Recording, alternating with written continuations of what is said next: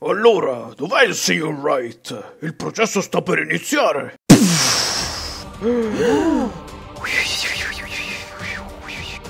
Ferma dove sei, Von Karma. Ti aspettavo, Fenice. Sono qui per salvare questa innocente donzella dal tuo abuso. Oh, mio eroe! Oti ancora sfidarmi dopo che uccisi il tuo assistente senza il minimo sforzo. Non permetterti nemmeno di pronunciare il suo nome. Assalto della legge! Stolto, non ti ricordi della mia frustata taser?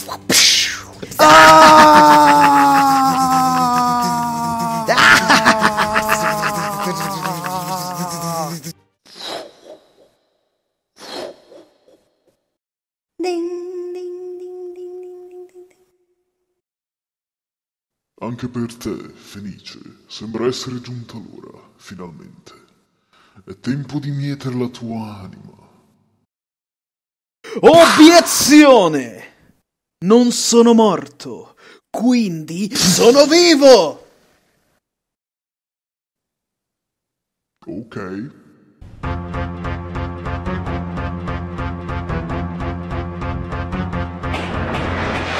La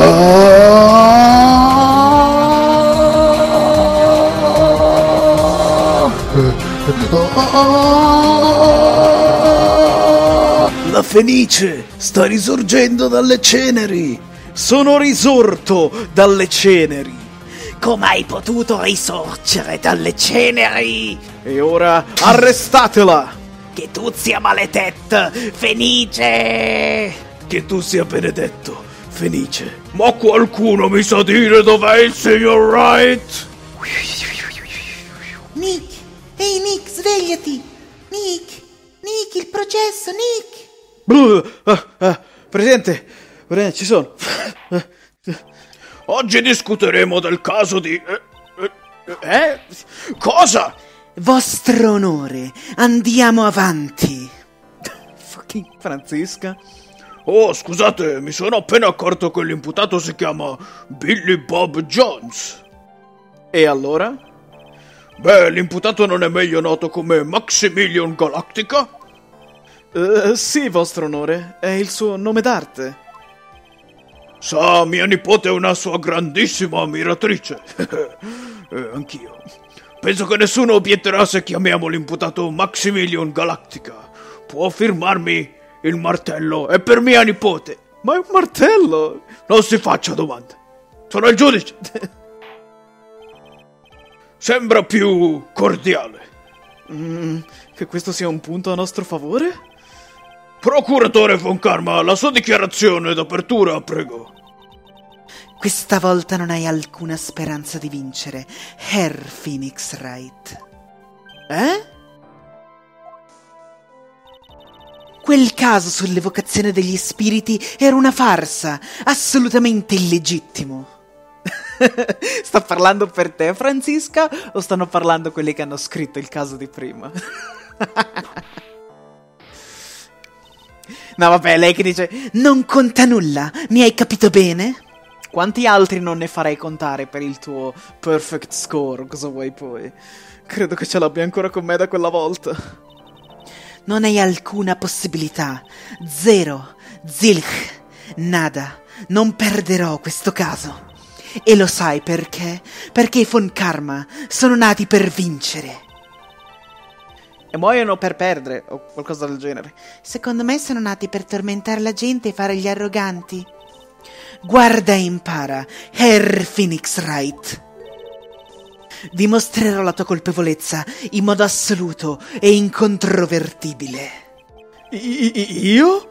Colpevole? Ma di cosa stai parlando?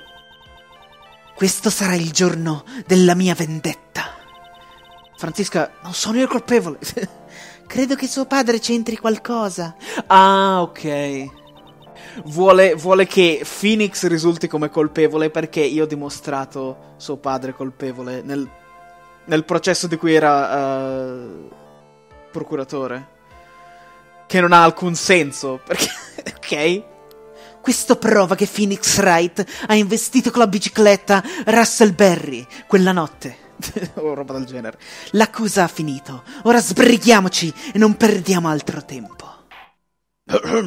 Può chiamare il suo primo testimone, procuratore. Detective Dick Gumshoe, vieni subito qui. Veloce, schnell! Ok. Gumshoe, come previsto. Mi dispiace aver interrotto il tuo lavoro, detective. So che per te il tempo è denaro. Si figuri, nessun problema, davvero. Non vedevo l'ora di tornare qui. Molto bene, puoi iniziare a esporre gli eventi in questione. Ai suoi ordini, signora. Proceda pure con la sua testimonianza, detective. Ok, Gumshoe, i dettagli del delitto. Ah, Dovrebbe essere facile. Come riscaldamento, Gumshoe. La sera del delitto ha nevicato fino alle 21.40. Faceva molto freddo. 21.40, sono uscite alle 22, no? Tutti gli artisti del circo si sono riuniti nel tendone per provare i loro numeri. La sessione di prove è finita intorno alle 22. Il delitto è avvenuto alle 22.15 nel piazzale di fronte agli appartamenti.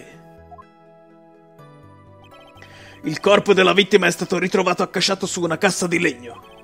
La vittima è morta in seguito a un forte trauma che le ha rotto una vertebra cervicale. Eh, brutale.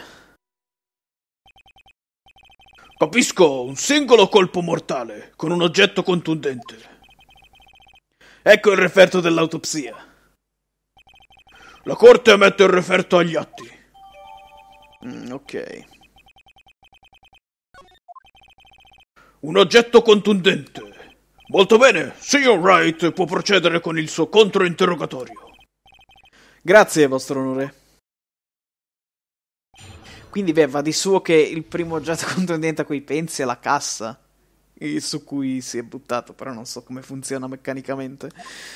Ok, la sera del delitto ha nevicato fino alle 21.40. Cosa ha da dire sulla meteo, Mr. Gumshoe? Parlando di quella nevicata, C'è stato un forte vento gelido fino a poco prima del delitto. la neve non si era accumulata a terra? Oh, non era granché, erano caduti più o meno 4 centimetri. La neve si è poi gelata ed è rimasta a terra fino al giorno successivo. Hmm, la neve.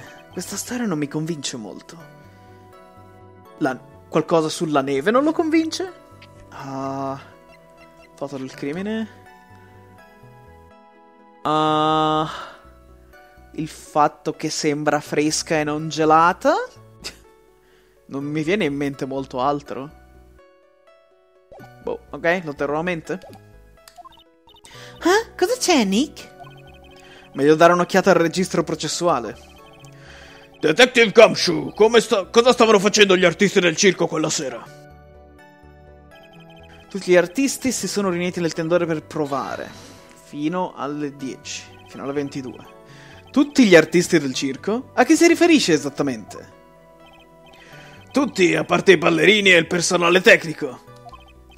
Regina, la domatrice, Mo il clown, Ben il ventriloquo. E ovviamente l'imputato Maximilian Galactica insieme alla vittima, il direttore. Nessuna menzione di Acro. E gli altri sì, li ha menzionati tutti, penso. Oh, dimenticavo! Oh. Ah, pff, la tigre? Oh, dimenticavo, c'era anche Regent, la tigre di Regina. Quindi mancano all'appello Acro, Mo- Moni e l'elefante. È una combutta fra loro tre. Per curiosità, cosa mi sa dire sulla scimmia del circo? Ieri mi ha rubato l'orologio dopo... Quindi cos'era l'orologio di infima qualità? Era quello di Gumshoe. Preso da un Vucum Prime un giorno di pioggia. Eh, mi ha rubato l'orologio da polso durante le indagini. Detective, la invito a denunciare il furto dopo la fine dell'udienza. La sessione di prove è finita intorno alle 22, ok. Questa è un'informazione costante. E poi dove sono andati tutti gli artisti dopo le prove? Regina è rimasta a giocare con Regent mentre Mo si è diretto nella sua stanza. Mi sembra che Mo ha visto dalla sua stanza il, il delitto. Bene, il ventriloquo è andato al piazzale principale e è assorto nei suoi pensieri. Infine il direttore ha chiamato Max nel suo ufficio per discutere in privato. Per discutere in privato? Suona molto sospetto. Hai idea di cosa avessero parlato in ufficio? Pare che dovessero discutere dello stipendio di Max. In realtà Max ha chiesto al direttore la mano di sua figlia Regina. Aspetta. Ah... sta bene che ha chiesto la mano della figlia, ma... Non avevamo discusso con Max del fatto che era stato chiamato per via della colluttazione con Ben? Ah no, forse è che tramite quello siamo risaliti. Ok, ok, tutto chiaro. Il delitto è avvenuto alle 22.15, 15 minuti dopo. Piazzare davanti agli appartamenti. Può essere più preciso riguardo agli eventi accaduti intorno alle 22.15? Uh, um, ok, nessun problema, amico. Abbiamo un testimone che ci ha raccontato come sono andate le... Oh! Questo è irrilevante. Procediamo. Um, va bene, ci occuperemo più tardi di questo testimone. Quindi Mo o Trilo, immagino. Uh, Detective Gumshoe può dirci come è stata uccisa la vittima? Ah, il corpo della vittima è stato ritrovato accasciato su una cassa di legno. Una cassa di legno? Esatto. Credo che la vittima stesse trasportando quella cassa quando è stata uccisa. Oppure la cassa è l'oggetto contundente, perché per uccidere sul colpo... Ah, ce ne vuole abbastanza. Soprattutto per rompergli la vertebra. Um... Stava trasportando una cassa di legno? Era una cassa di legno particolare, vostro onore. In che senso? Beh, era molto più pesante di quanto sembrasse a prima vista ed era chiusa a chiave. Chiusa a chiave? Ok. Forse dovrei fare qualche altra domanda finché sono in tempo. Oh, sulla cassa di legno. Uh... Più pesante di quanto sembrasse. Il contenuto? Cosa c'era dentro? Se l'hanno aperta. Sta a dirci cosa c'era in quella cassa. Beh, quando l'abbiamo trovata era chiusa a chiave, non ne voleva sapere di aprirsi. La scientifica ha dovuto usare le maniere forti per scoprirne il contenuto. Quindi, a meno che. Quindi, a meno che non è l'arma del delitto ed è.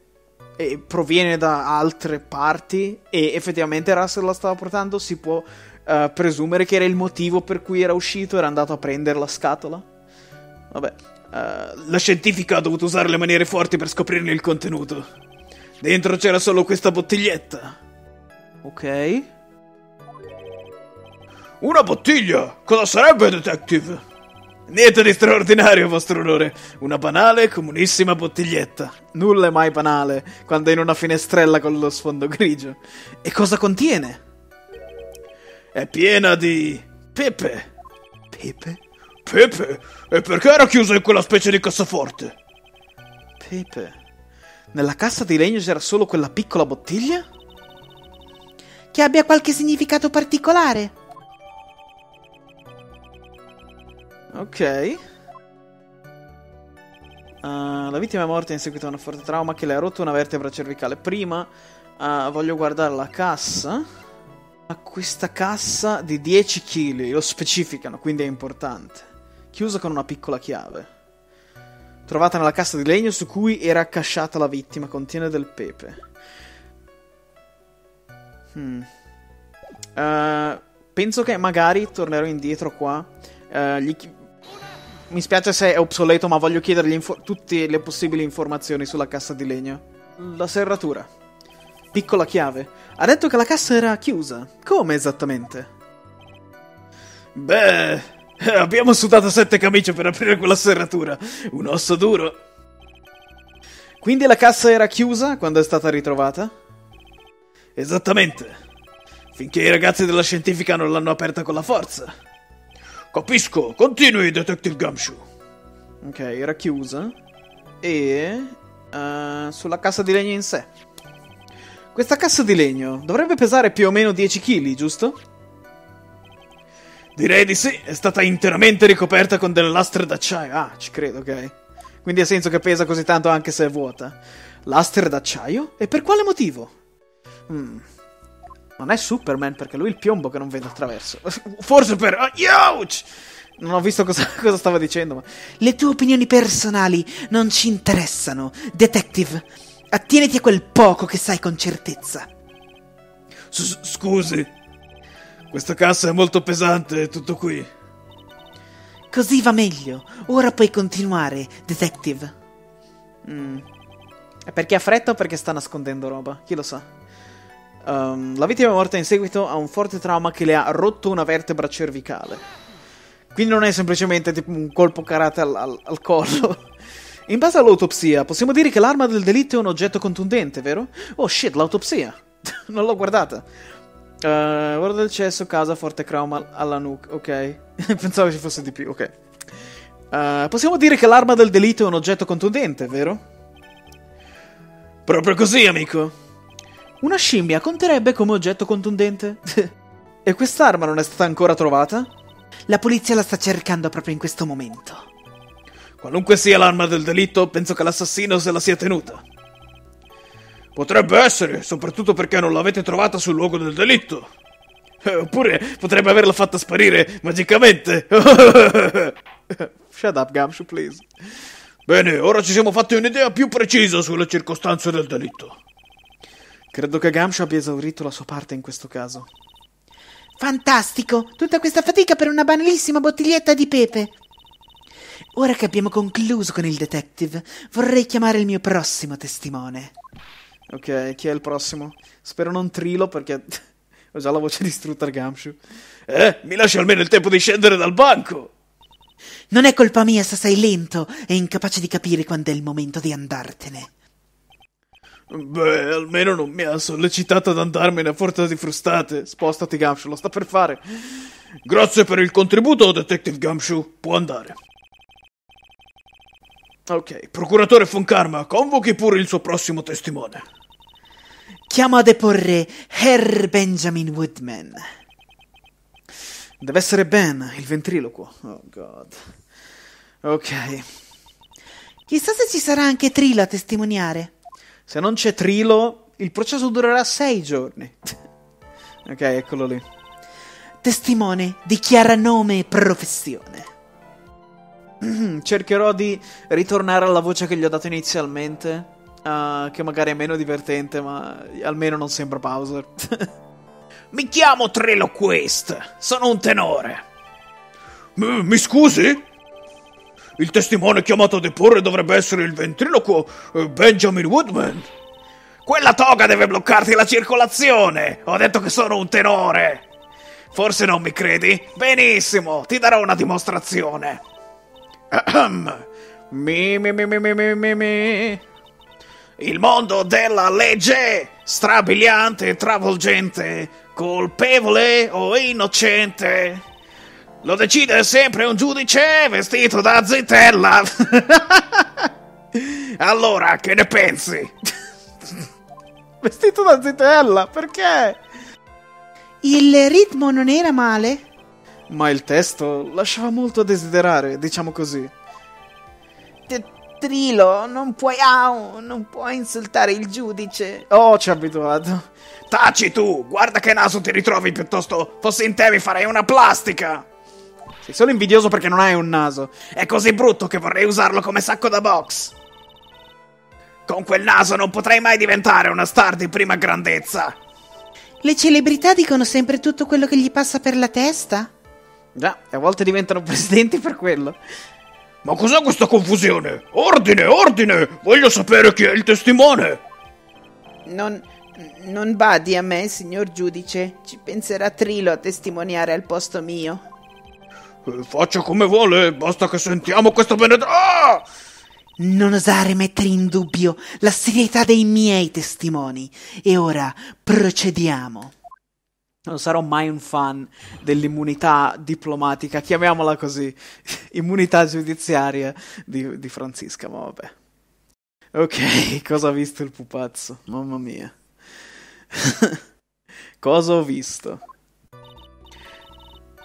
Ah, grazie per avermi fatto notare che effettivamente Ben muove le labbra uh, quando Trilo parla. Carina come cosa. Um, Dopo le prove, me ne ero andato dal tendone con il buffone. Il clown, insomma. Arrivati agli appartamenti, l'ho piantato in asse e sono andato al piazzale. Ok. È stato in quel momento che ho visto Max dirigersi verso il luogo del delitto. Nessun altro era andato da quella parte. Quel demente è sicuramente l'assassino. Poi è arrivata la polizia e il maghetto è stato arrestato. Gli sta bene. Hai visto l'imputato dirigersi verso il luogo del delitto? Ne sei sicuro? Senza dubbio, solo lui indossa un cilindro, un mantello e delle insulse rose bianche. Un abbigliamento così assurdo è la normalità per quel ciarlatano perditempo. P- può bastare, eh, credo che tutti abbiano capito. Una sola cosa, ha detto di aver piantato in asso il clown. Esatto, citrullone. Dal momento che non era con lui, non potrebbe essere il clown il vero assassino? Hmm, ha ragione. Mo ci aveva detto di aver visto dalla finestra, giusto? Mi dispiace rovinare questa tua bella teoria, ma il clown non può essere l'omicida. E perché? Ecco la prova. Un, un cilindro di seta? Questo cilindro è stato trovato sul luogo del delitto. Appartiene all'imputato. Ah, Senza ombra di dubbio, l'imputato indossava questo cilindro durante le prove. Se il clown fosse l'assassino, il cilindro non avrebbe dovuto essere sul luogo del delitto. Bene, procuratore von Karma, i miei complimenti. Il suo intuito è davvero senza pari. Plie? Grazie, ma questo lo sapevo già. Herr Phoenix Wright, non hai niente da dire? Oh, ok. Oggi sembra più in forma che mai. Si è fatto jogging, ha fatto tutto. Cosa ho visto? Di Trilo. Bene, io mi fermo qua, gente. Ci sono stati problemi con la registrazione, quindi preferisco fermarmi qua per sicurezza.